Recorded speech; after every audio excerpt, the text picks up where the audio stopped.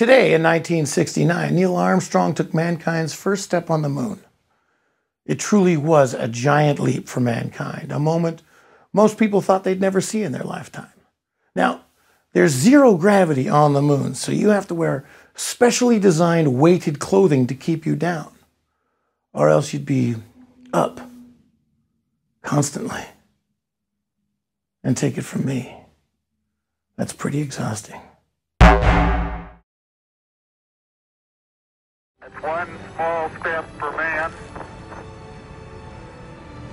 one giant leap for mankind.